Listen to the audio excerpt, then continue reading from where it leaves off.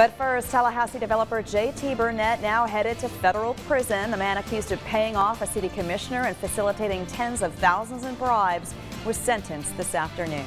Good evening, everyone. I'm Julie Montanaro. And I'm Ben Kaplan. Today, a federal judge handing down a three-year sentence as well as a hefty fine. Capital City correspondent Monica Casey was in the courtroom as this all went down. And Monica, what did Burnette have to say?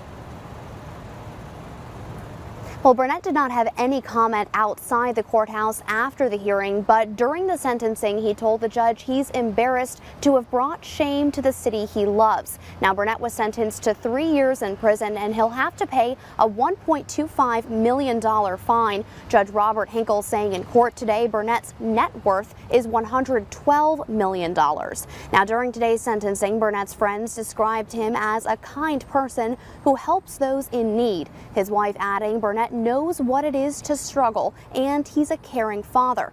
The prosecution arguing today Burnette had a consistent pattern of corruption in his business practices, and Judge Hinkle saying bribery undermines faith in the government.